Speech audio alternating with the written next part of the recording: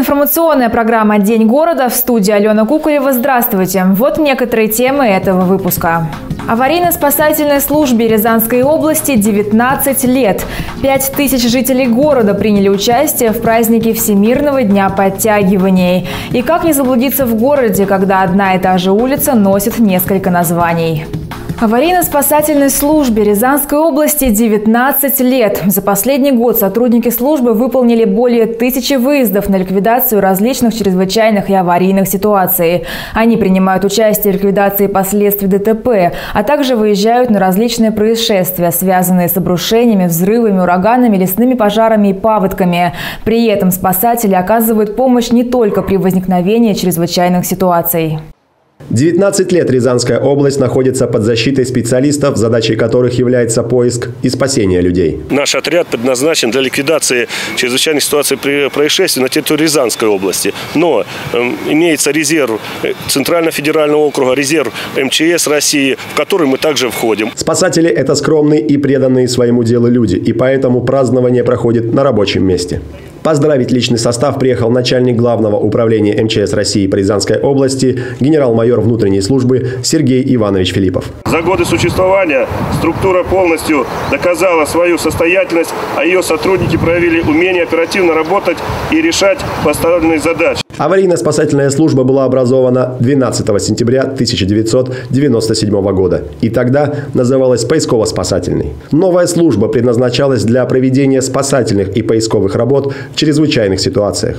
Тогда личный состав был совсем незначительным. Теперь же в составе аварийно-спасательной службы 34 спасателя и 6 кинологов.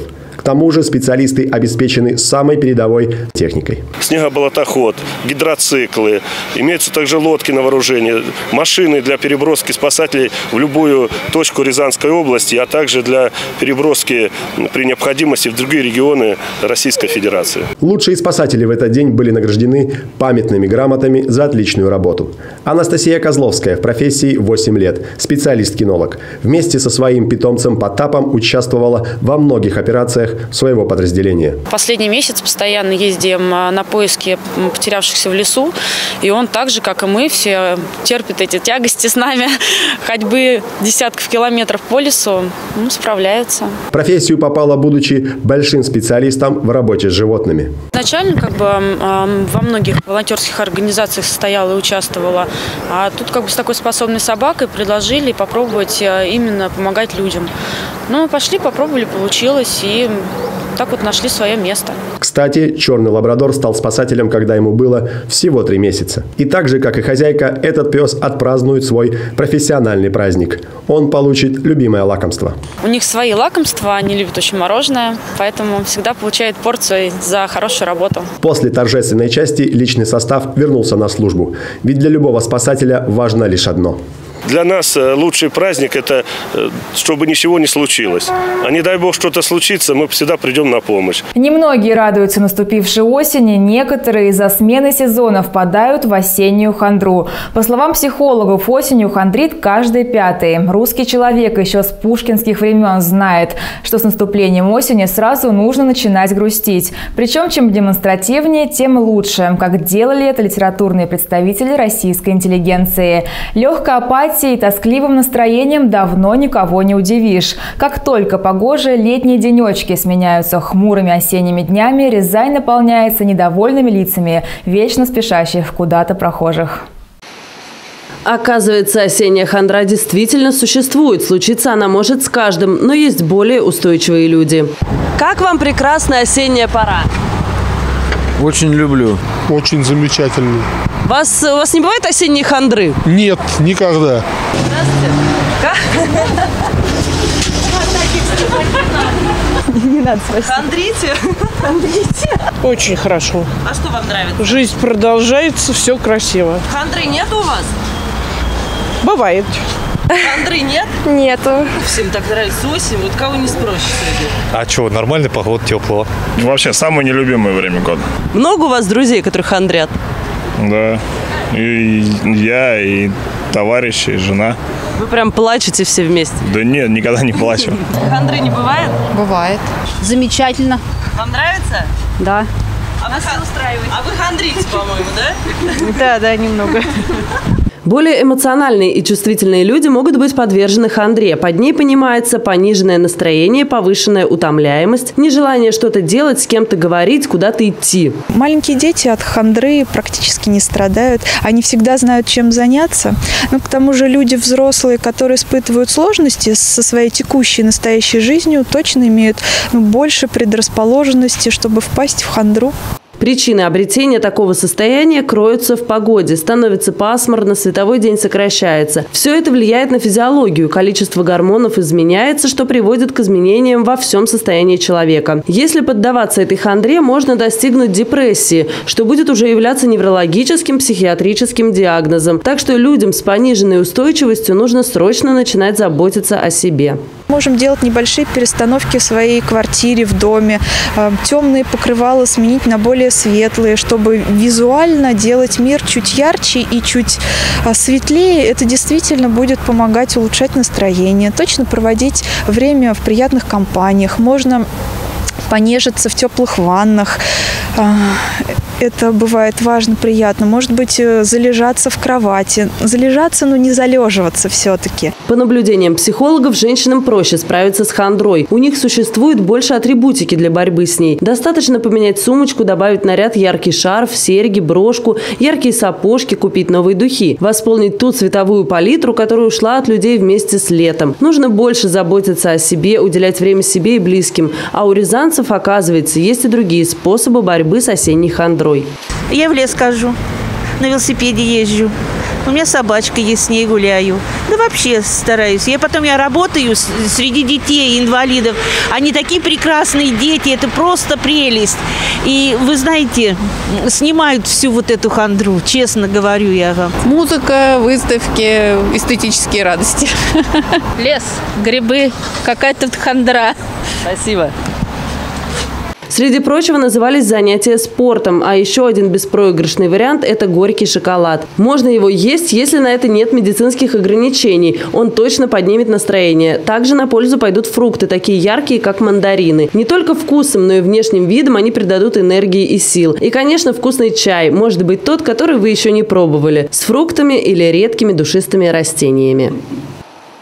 От хандры советуют специалисты заниматься спортом. Рязанцы следуют этим рекомендациям. Около пяти тысяч жителей города приняли участие в празднике Всемирного дня подтягиваний.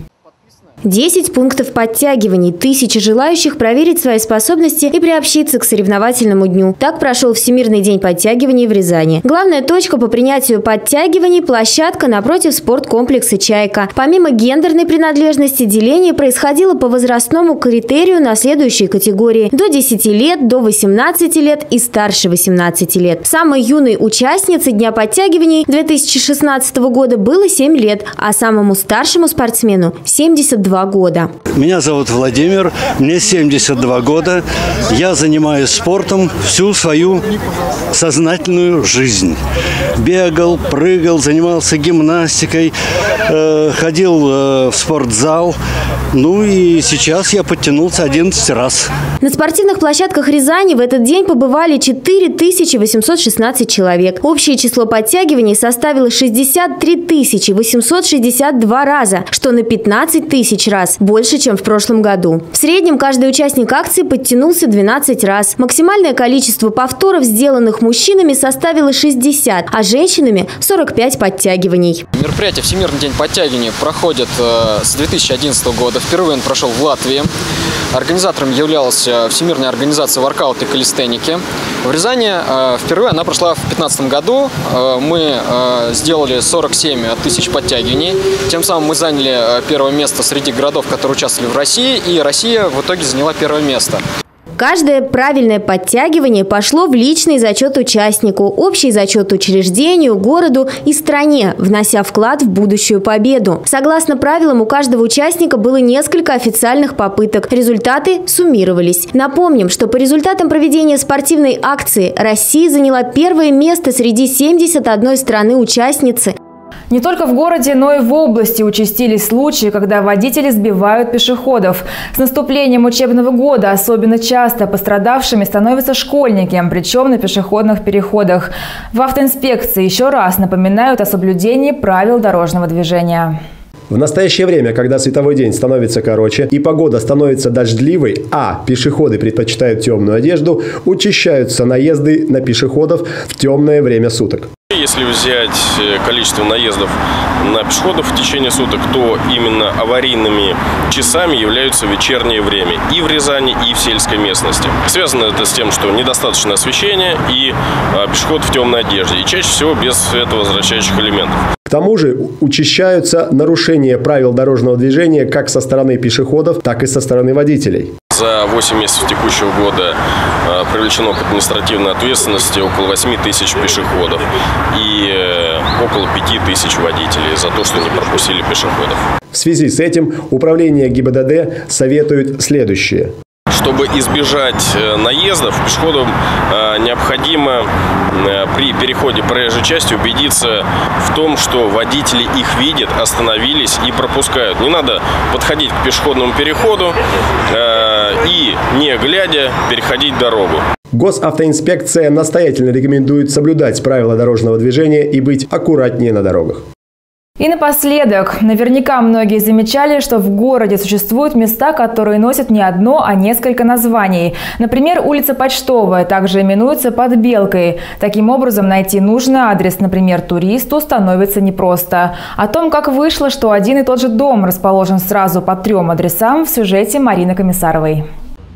В сквере возле Академии ФСИН России привычно видеть людей в военной форме. Это площадь, которая не пустует ни в один из дней воинской славы. Здесь возвышается памятник легендарному генералу Василию Маргелову. Его имя и носит в настоящее время площадь. Это самая маленькая площадь в городе, между тем сосредоточившая самое большое количество памятников в одном месте. И история смены названий этого уголка тоже велика топонимический парадокс. Кстати, в народе эту площадь зовут площадь дяди Васи, хотя официальное имя площадь имени Василия Филипповича Маргелова. Но это третье название этой площади. Историческое название 18 века – Сенная, потому что здесь рядом с Хлебной площадью проходили крупнейшие сенные такие торги. И, кстати, сено вазами зимой возили аж в Москву. Почему? Рязанское сено считалось настолько полезным и вкусным для коровки, что получало замечательное молоко. Название площади на тот момент считалось самым длинным в мире. Имени первой Варшавской польской пехотной дивизии Тадеуша Костюшка. Оно включало 9 слов и 61 букву. Но для удобства была сокращена до фамилии военачальника, что в корне меняло смысловую нагрузку названия. Сейчас о былом имени напоминает стела в сквере и память горожан. Несмотря на попытки местных властей привести топонимику в порядок и переадресовать некоторые дома, в сознании людей крепко укоренились старые имена. Э, вот еще год назад примерно вот э, вся правая сторона, если идти с Хлебной площади э, вся правая сторона нынешней площади дяди Васи э, была сплошь путаницей. Почему? Один из домов с корпусом был Поколяева, хотя уже название Семинарское было восстановлено. Второй дом был прям площадь Костюшка, дом 3, корпус 1, по-моему, вот такой адрес был. И третья была Семинарская. То есть на одном пятачке стоишь, оглядываешься вокруг и видишь три или четыре даже разных названий. Все равно сейчас получается так, что рядом стоят по соседству дома. Один Семная, другой Семинарская. Получается, что все равно довольно сложно сориентироваться. Ну, только что нам сказал работник ЖЭКа, да, такой рабочий, пролетарий, показывая на этот огромный дом, который обрамляет эту сенную площадь. Он сказал, а вон тот дом, Костюшка 3. То есть до сих пор в ЖЭКе мастера, сантехники, водопроводчики и прочие числят его по Костюшка. Адреса домов вокруг площади, так сложилось исторически, тоже перепутаны. В ряд выстроились многоэтажки, которые хотя и соседствуют, но стоят на совершенно разных улицах. Сенная, Семинарская, Костюшка. Хотя уже сейчас все дома в округе сводят к одному адресу – улица Сенная. За моей спиной табличка с именем немецкого революционера Карла Липкнахта, который имеет сомнительное отношение к истории нашего города, разве что вносит путаницу в топонимику Рязани. Ведь дом стоит по улице, которой давно возвращено историческое название – Вознесенская. Вознесенская улица получила свое имя в XVIII веке и стала одним цельным ансамблем вместе с площадью Вознесенской и Вознесенским храмом, реставрация которого сейчас активно идет. Улица Ленина, ранее Астраханская, делила Вознесенскую Вознесенскую на две части, вторую часть зовут Введенской. И вышло так, что несколько домов так и остались домами на Липкнахта. Однако за возвращение им исторического имени до сих пор радеют и краеведы, и неравнодушные к истории города рязанцы. И на этом у меня все. Мы прощаемся с вами до завтра. Хорошего вам настроения.